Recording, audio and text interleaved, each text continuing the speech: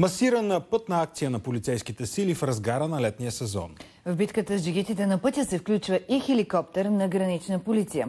За акцията по земя и въздух сега ще ни разкаже Наталия Герджикова. Добър вечер. Добър вечер. Хеликоптерът на гранична полиция излетя в 4 часа от авиобаза Безмер. Той ще облита основни пътни маршрути към морските ни курорти и когато се сече нарушител, ще сигнализира екипите на земята. Масираната акция се налага заради статистиката на КАТ, според която през летния сезон тежките инциденти са, се повишават с 10%. Затова и днешната операция беше съсредоточена към трафика към морето. В акцията се включиха, освен видимите патрули и невидими, които а, полицаите в немаркирани паркирани коли наблюдаваха трафика. Само до 4 часа този следобед бяха констатирани 306 нарушения. Най-много са шофьорите, които са карали с превишена скорост, 256 регистрирани случая. Повече за това как протече акцията днес, вижте.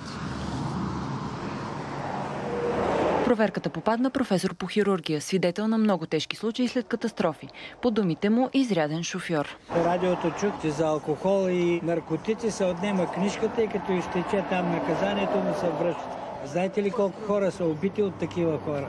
Изряден, но само преди проверката. След нея се оказа, че има фишове за превишена скорост на негово име на стойност 1400 лева. Казва, че не бил управлявал автомобила той. Глобата там ви е 600 лева.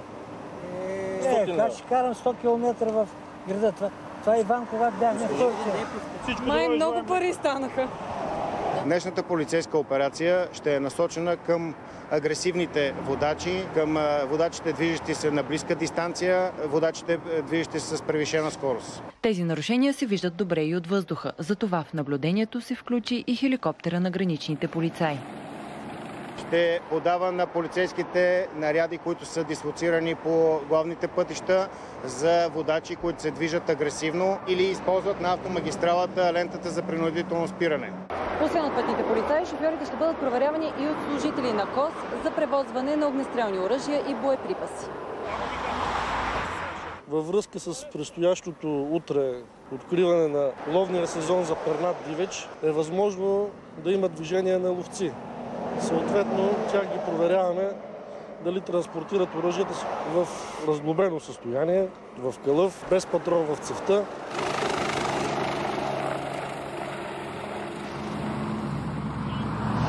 Сами виждате, трафика към морето е интензивен. От днешната операция стана ясно, че а, няма драстични нарушения. Операцията ще продължи и през почивните дни. Информация на Наталия Герджикова. Благодарим.